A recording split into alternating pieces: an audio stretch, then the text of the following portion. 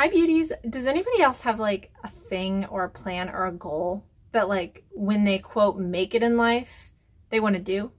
Like for instance, if I quote make it in life, not that I haven't made it in life. I love my life. But if I get to that level, I want a Burberry scarf. I want an Hermes scarf. I would love to go to New Zealand and I want a Tiffany necklace.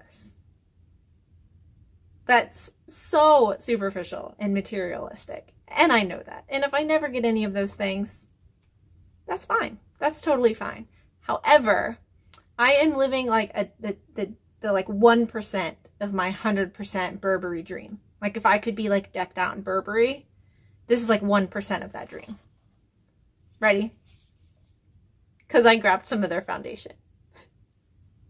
And the best part about this was I got it at Nordstrom Rack. So I have Burberry foundation, which is like way not as cool as like Burberry clothes, but still pretty cool. And I didn't even like pay full price for it. I got it at Nordstrom Rack. So call me a cheapskate. It is what it is.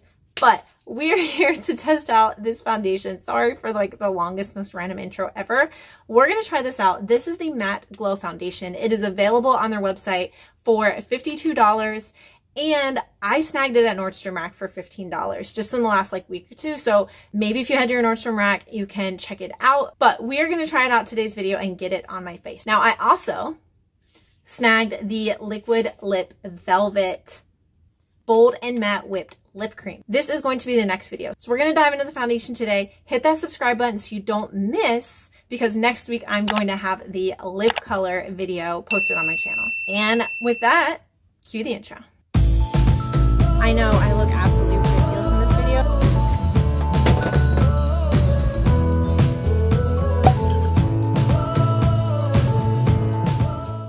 Okay, so as I said, this is $52 if you buy it from Burberry. It does say this is a luminous matte foundation, weatherproof and long lasting. So I'm interested that it says luminous and matte. Maybe it's like a dewy matte, which would be really, really great because there was so long in makeup that it was like all about matte. Like take it on. And then more recently, it's all been like dewy, but I have oily skin, so I do still kind of stray towards matte. If this could be a mix between the two, I'm gonna be excited. This is a 30 milliliter bottle, and let me show you the Burberry packaging on this. Wow, isn't that pretty? With their iconic plaid print right there. If you're planning to skin match to me, this is medium neutral number 60. Now again, I just kind of picked this. I didn't get to swatch it. I didn't get to try it. I didn't get to match it to me. So we're going to hope for the best. So it does look like it has like a protection so that if you travel with it, it doesn't push down. If I spin it a little bit, now I'm able to pump it. So I'm just going to get a little bit on my hand. We can see what we think at first glance. There is that foundation. It is neutral undertones, which is what I go towards, so I am hoping this is going to match, but let's try her out.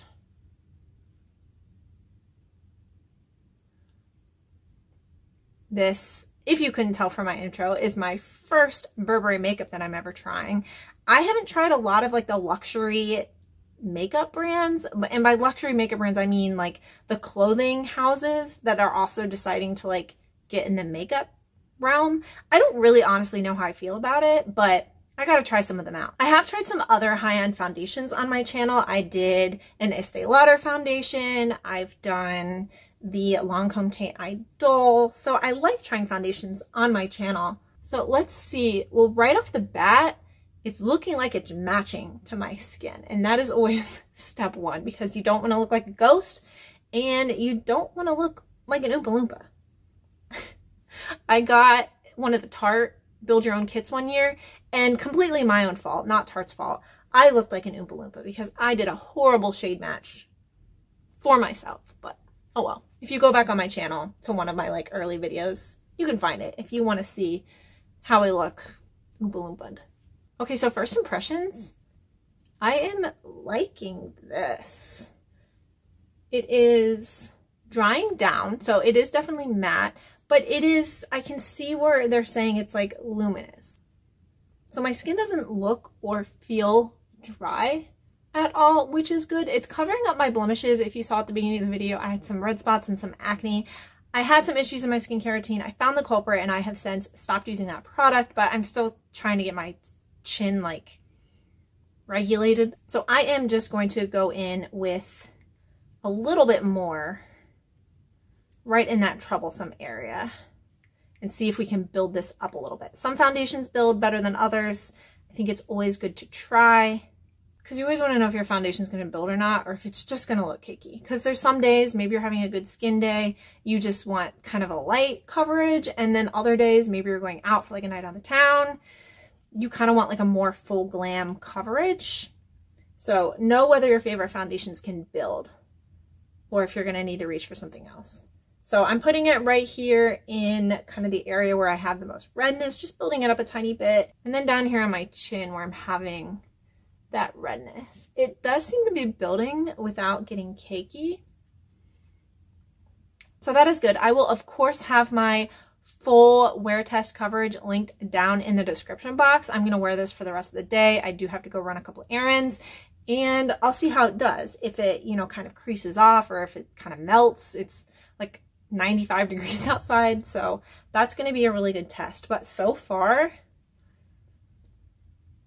I'm impressed by this. I mean, and $52, yes, you're kind of paying for the label. I mean, it is Burberry. Part of what you're paying for is just this like pretty packaging or to have out on your vanity. But as compared to some other foundations, to the Lancome I've tried, to the Estee Lauder, it's kind of right there on par with it. All right, and there we have it. I am liking this as a first impression. I will continue trying this out, so follow me over on Instagram. It is at Marina Beauty if you want to see more about this product. I always review the products over there.